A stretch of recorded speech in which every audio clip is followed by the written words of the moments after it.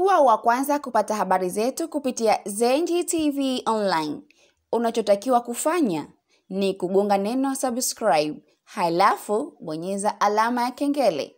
Pia unapoipata habari yetu, usisahau kusubscribe na kushare.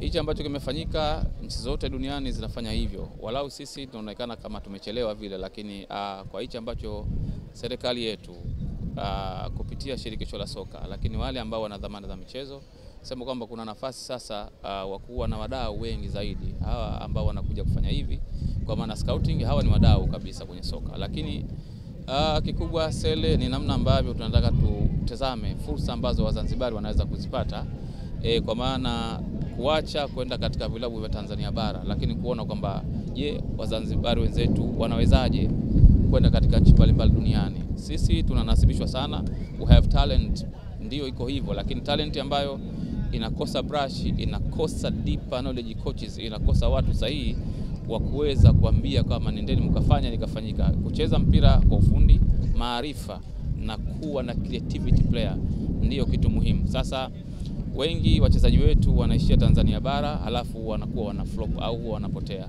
Maanake ni kwamba wanakosa basic of football.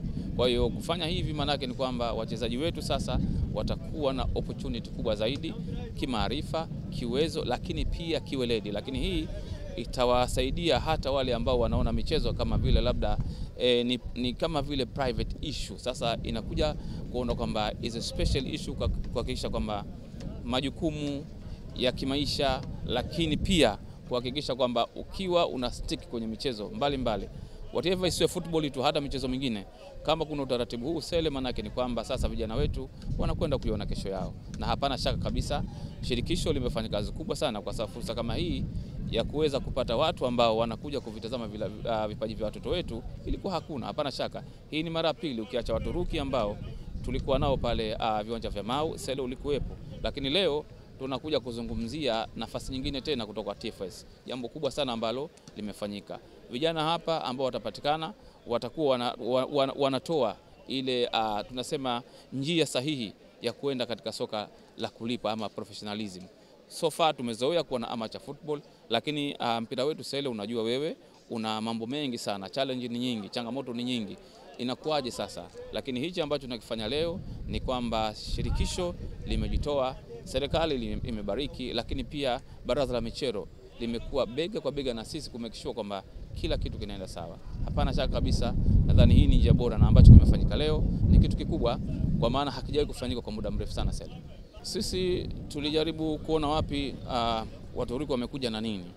Ukiwa unafanya kitu kama vile novice, yani mtu ambaye hauja, hauja, hauna knowledge sana kufanya vivitu vitu, baadaye ukifanya hatua moja huwa kuna hatua nyingine inaongezeka. Tumeona kwamba kufanya hivi ni kuongeza uh, uwezo wa wachezaji wetu wengi sana kuweza kuonekana, kwa sababu kama timu inaingia uwanjani kwa pamoja, wamezoeana, wamepractice, walimu uh, wanawajua, maanake ni kwamba ni rahisi kuambia sasa wacheze kitimu, wacheze kimpango na kuacha ile hofu ambayo wengi wanaweza kuona kwamba pale kuna wazungu, pale kuna watu ambao hatujawazoea, lakini wamepewa nafasi kwamba yule ambaye anawasimamia kwenye mazoezi ndio ashughulike nao, ndio awambie, awajenge kisaikolojia, waende wakacheze, na hapana shaka Sele tutatoa vijana wengi sana eh, kwa muda mfupi kwenda kucheza katika nchi mbalimbali duniani, kwa wale ambao watakuwa na uwezo.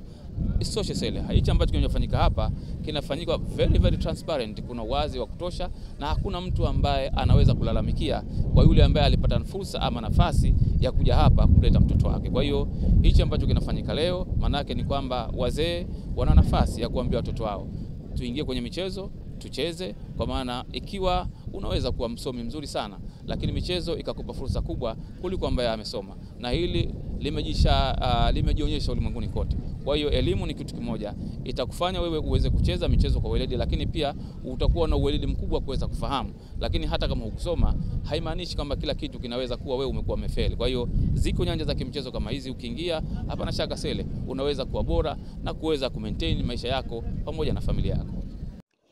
Kuwa wa kwanza kupata habari zetu kupitia Zenji TV Online.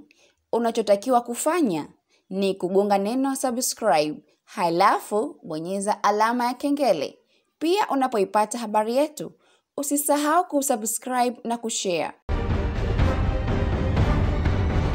Zenji TV tujivunie nyumbani.